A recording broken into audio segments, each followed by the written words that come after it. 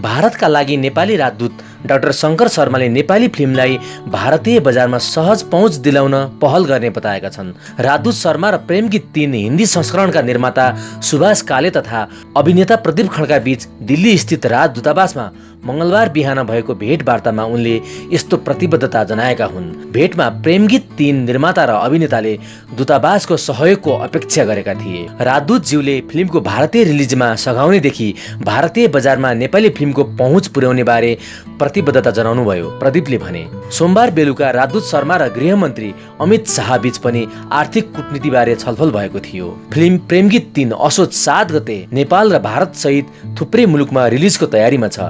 भारतमा हिन्दी र नेपालमा नेपाली भाषामा फिल्म प्रदर्शन हुनेछ। फिल्म प्रकाश रिलिजपछि अभिनेता प्रदीप सोमबार बिहान दिल्ली प्रस्थान गरेका थिए। सागर जस्तै धरती माथि माया नै हुन्छ मायाको साथी।